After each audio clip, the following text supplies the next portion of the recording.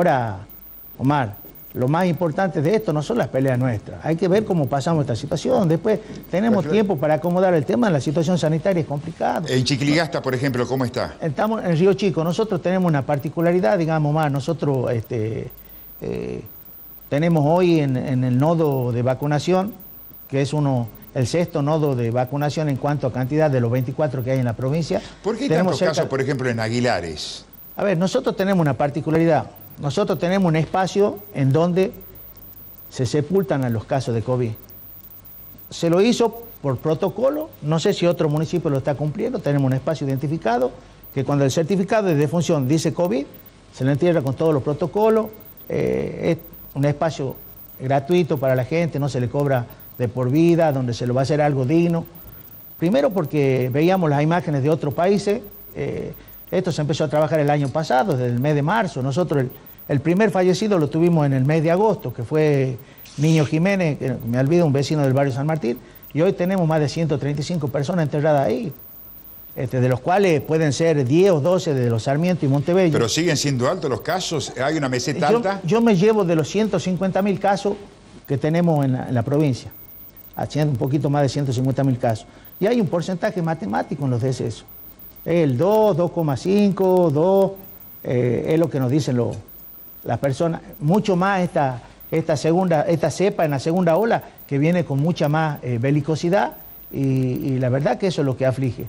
Hoy hace seis días, gracias a Dios, tuvimos un leve descenso en lo que hace al tema de los contagios, que, nos dio un alivio en el tema de la, de las camas en terapia intensiva, pero estamos... Pero prácticamente todos los días han tenido fallecidos nosotros, por allí. Hay, hay, días que no, pero hay días que tuvimos tres o cuatro fallecidos por día. Nosotros, este, Lamentablemente, este, es una situación muy difícil y sabemos que hay tres cosas fundamentales. Después, lo que hablemos, lo que digamos, lo primero es el cuidado personal y, el, tratar de restringir eh, la, circulación.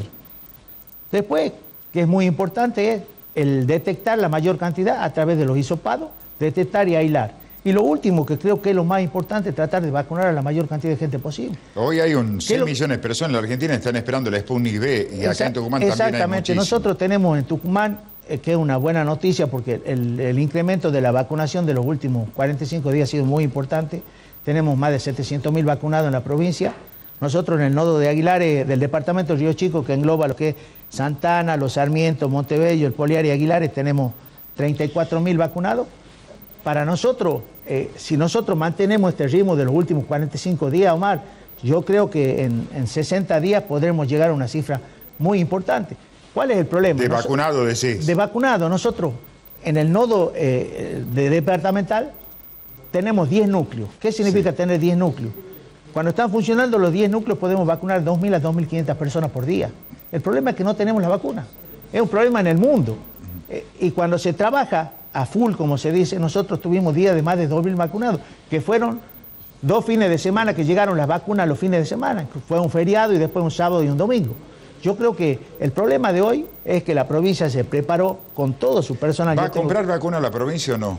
La provincia eh, hoy no, no pueden acceder. Ya, ya tiene una ley, digamos, pero no se puede acceder porque el Estado Nacional es el que está, eh, todos los Estados Nacionales están acaparando. Y yo creo que mientras dure la, la primera etapa, porque yo creo que el año que viene, si Dios y la Virgen lo acompaña, eh, muchas de las vacunas se las va a poder conseguir en la farmacia, digamos, y el Estado se va a tener que hacer cargo de la gente que no pueda comprar, para que todos podamos agilizar lo que es la vacunación.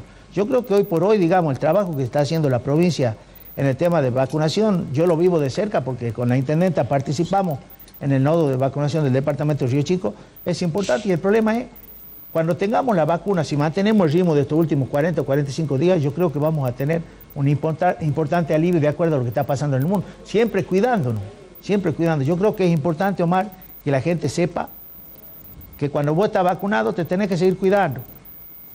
Si bien es cierto tener la protección después que pasan los días de que te ponen eh, la, primera dosis y mucho más cuando te ponen la segunda, siempre debemos seguirnos cuidando porque este, te puede proteger de que no tenga una enfermedad grave o quizás no te muera. Hubo casos, un porcentaje muy chiquito en el mundo, digamos, sabemos que un 90%, 95% de que está vacunado, la, vacuna te protege un, 100% en lo que la vida. Y hay un pequeño porcentaje que lamentablemente eh, fallece. Es una, Es una enfermedad que vamos a tener que convivir en el, tiempo. Tememos acostumbrar a la, a la sociedad a esto.